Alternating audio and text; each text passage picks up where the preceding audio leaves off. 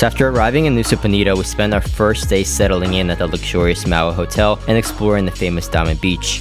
Over the next 48 hours, we're going to take you to some of the lesser known locations that normal tours skip over and what it's like sleeping at Nusa Penida's only luxury glamping resort. This is like Canggu shortcut, basically. Alright guys, we are going to a natural spring.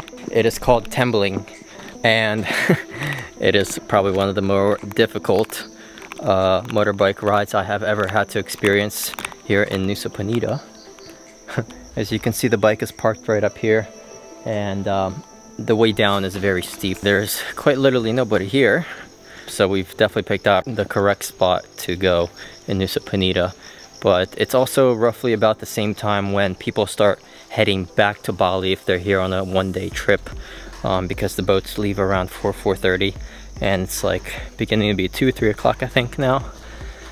So let's not get stuck here in the in the evening before the sun sets.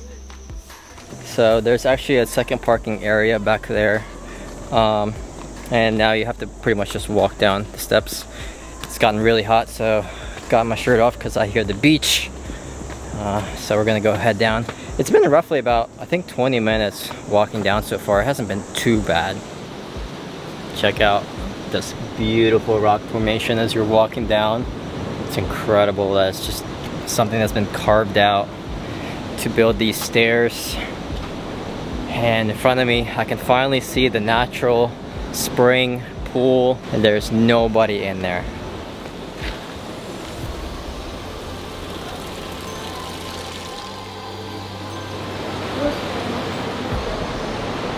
They've even got their own local bathrooms here.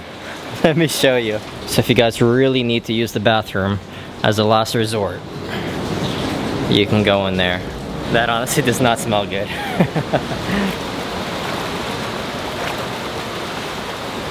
so guys, there's actually two natural springs. There's one right above that we passed. That's a little tiny one. Come all the way down to the beach. That's where the bigger one is. It's much cleaner. Um, and of course you can come down to the beach near the water where the waves are crashing.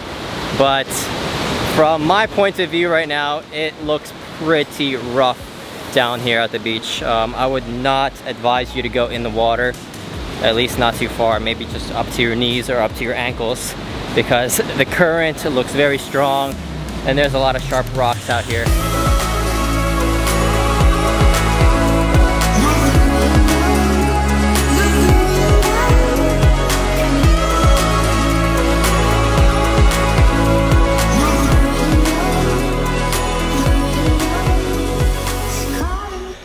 Alright guys, as you can see we are on our way back now.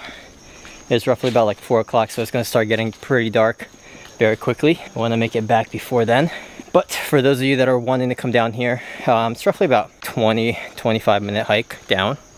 You can take your bike down this path. Just make sure you're a good motorbike dri driver and um, make sure that you have uh, really good brakes because if you don't, it's to be pretty dangerous.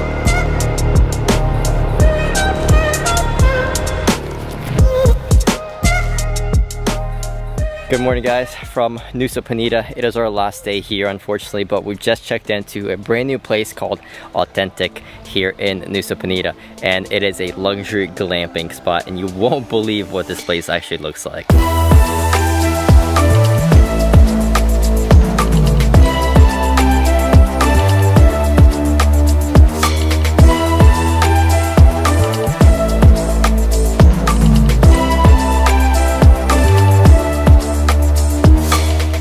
This is like an Instagrammer's paradise. All white tiled pool with crystal clear blue turquoise water. It's just mind-blowing, honestly.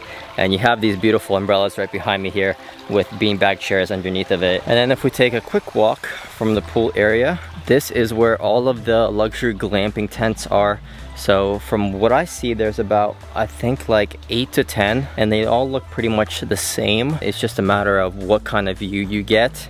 And we chose for the best view here. It is tent number seven and it is the valley view here. Let me show you what it looks like.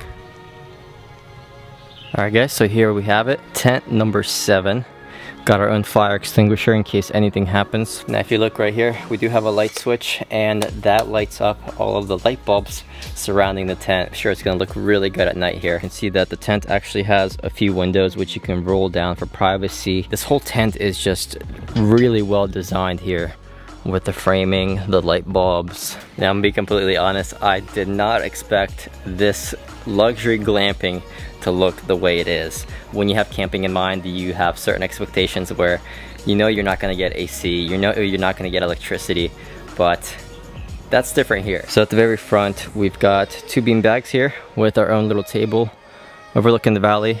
And then when you're tired of sitting out here, you have the bedroom. So this bedroom actually has a full queen size bed, beautiful laid out towels. You have a whole dressing area with some hangers, a hat that they provided, and a luggage and bag area as well, some pool towels. And then on the other side, we've got our coffee area. We've got fresh water, water dispenser, uh, that is hooked up to electricity so you can give you uh, it'll give you hot water in fact for coffee and tea uh, can you imagine that you have this for glamping and as you can see we even have electricity we've got a fan running in the back but that's not all we even in fact have an air conditioner in our tent that's how luxury this glamping is. So as you'll see, there's lots of light switches. You got the fan control in the back there. We've got even a working area back here.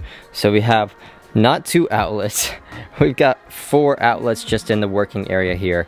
They provided us some snacks, a tissue box, not sure what this is, probably for storage, even insect repellent for the mosquitoes at night. And then let's take you guys into the bathroom area. This is one of the nicer bathrooms I've ever seen in a glamping tent. Uh, they've done this place up. You have here a full-on working shower with hot water. You've got your sink here with towels, soap. They've even got a plug here for a hair dryer and even a western toilet. This is pretty much full-on luxury hotel amenities in a camping site. You would have never imagined this to be here.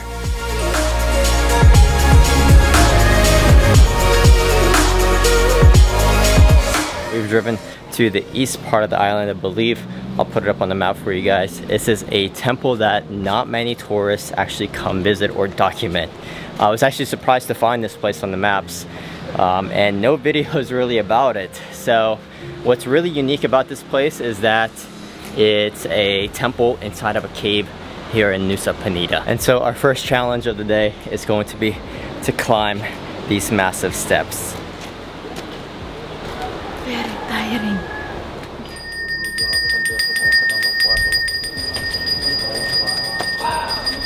Look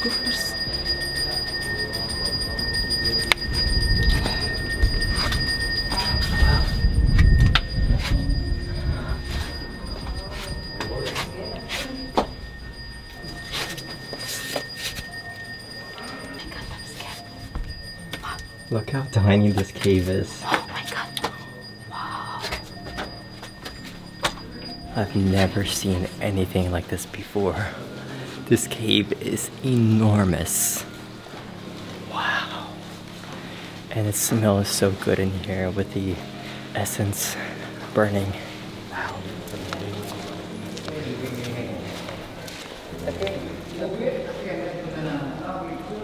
This is honestly one of the most amazing things I've ever done and it's it's sad that nobody covers this in Nusa Penida. Nobody tells you about this.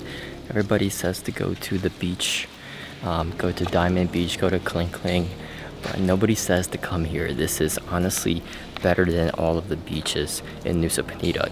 Come here. I'm surprised none of you have ever told me or recommended me to come here. We're now walking down this very long pathway. It almost seems like this cave just never ends. You can just see the small little light bulbs in the far distance with bats flying around at the top of these ceilings. So right behind me is where they're doing the ceremony right now. I'm not sure how often they do the ceremony, but they're sitting down to pray and they're also lighting uh, offerings for people to go up the staircase, which we just passed. Uh, and they go up the staircase to complete the offerings. And it is just a large, large amount of people in here. It's very misty, very humid in here. It's a super unique experience that I really wouldn't have known about you could do that, that you could do in Nusa Penida. So we're gonna take a walk back now to the main entrance. Now as you're taking a walk down this long pathway, if you guys look up at the top of the cave, you'll see like red markings and red paintings almost. It's like almost an art piece. It is so beautiful down here. Look how small the entranceway is, guys. Wow. You pretty much have to crawl to enter and exit out of it. My back hurts.